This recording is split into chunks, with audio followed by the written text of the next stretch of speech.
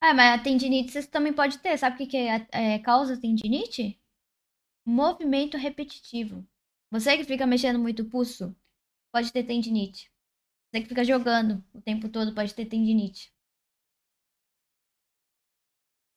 Não, pô, não, não, não dessa forma. Ah, velho, pelo amor de Deus, cara. Ô, melhorem aí, pô. Todo mundo da trem fez mexendo o ombro. Você fez mexendo o pulso.